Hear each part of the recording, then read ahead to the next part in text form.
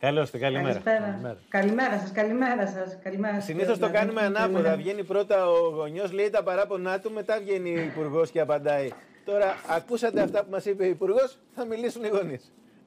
Λοιπόν, κοιτάξτε να δείτε, νομίζω ότι κάποια ερωτήματα πολύ σωστά τις τα βάλατε τη κυρία Υπουργού και Υφυπουργού και νομίζω ότι δεν τα απάντησε κιόλας. Δηλαδή, Καταρχήν, εμάς μας προβληματίζει πάρα πολύ η τηλεκπαίδευση. Θέλουμε να γίνει, θέλουμε να είναι αποτελεσματική και θέλουμε να είναι ισότιμη και ενιαία για όλα τα παιδιά.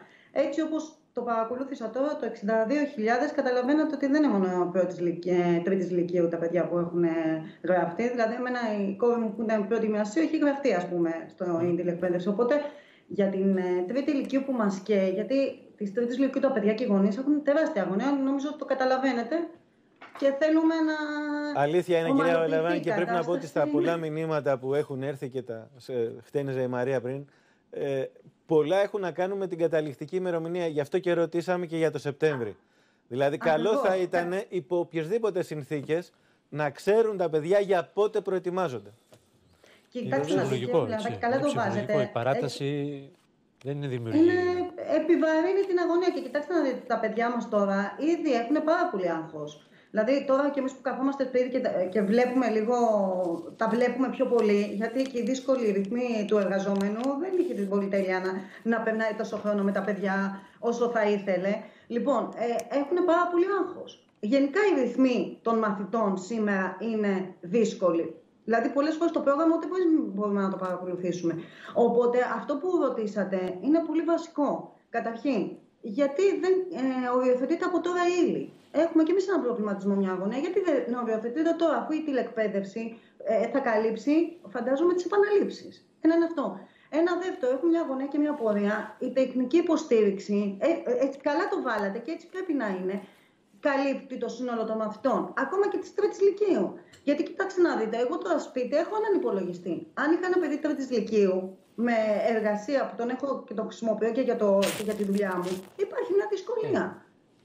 Δεύτερον, δωρεάν ίντερνετ δεν θέλουμε, εκτός αν θέλουμε δεδομένο ότι όλοι, σε όλη την Ελλάδα... Όχι κυρία Βαλαβάνη, καλά κάνετε που το λέτε και θέλω να το επαναλάβω για πολλωστή φορά ότι το 800 που είναι ένα επίδομα, δεν θέλω καθόλου να το υποτιμήσω, δεν είμαστε εδώ και εμείς εδώ πέρα τίποτα πλουσιόπεδα.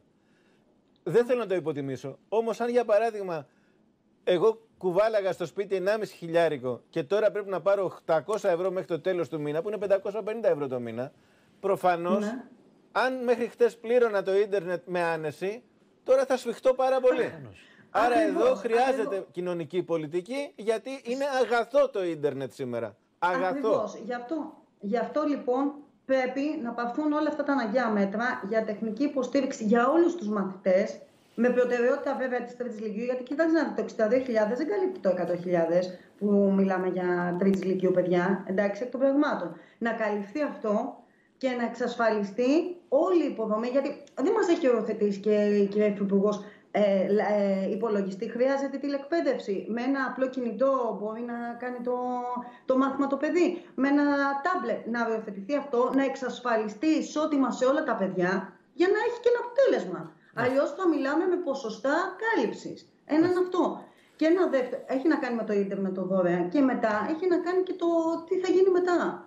Δηλαδή με έναν τρόπο πρέπει να υπάρχει και ένα σχέδιο, γιατί κάποια στιγμή θα ανοίξουν τα σχολεία, έτσι δεν είναι; Θα ανοίξουν. Το ελπίζουμε ε, όλοι. Το ευχόμαστε και το έχουμε, έχουμε ένα προβληματισμό στη βάση ότι θα ολοκληρωθεί ενιαία το πρόγραμμα για όλε τι τάξει. Για να μην υπάρχουν κενά. Γιατί ξέρετε κάτι τώρα τι γίνεται. Δηλαδή, έτσι που το κουβεντιάζουμε και όλοι και σα παρακολουθούσα και καλά γίνεται. Έχουμε νομιμοποιήσει την ιδιωτική εκπαίδευση. Δηλαδή, όλοι, δηλαδή έχουν, την έχουμε θεοποιήσει κατά κάποιο τρόπο. Καταλαβαίνετε. Και όλοι Καλά, στην Ελλάδα η ιδιωτική εκπαίδευση, το ξέρετε, είναι μια πραγματικότητα εδώ και πολλά χρόνια και έχει να κάνει με το ότι όλοι ξοδεύουμε λεφτά στα πρωτοστήρια. Η ιδιωτική εκπαίδευση δεν σημαίνει μόνο ιδιωτικό σχολείο, φροντιστήρια, ξένε γλώσσε όλα αυτά.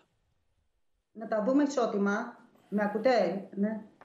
Σας ακούμε ναι, μια ναι, χαρά. Να ολοκληρώσουμε ναι, με αυτό, κυρία Βαλαβάνη. Να τα δούμε ισότιμα για όλη την τρίτη ηλικίου. Ε, πρέπει αυτό να γίνει με έναν τρόπο ενιαίο. Έχετε δίκιο. Δηλαδή να... Υπάρχει ένα θέμα ισότιμης μεταχείρισης.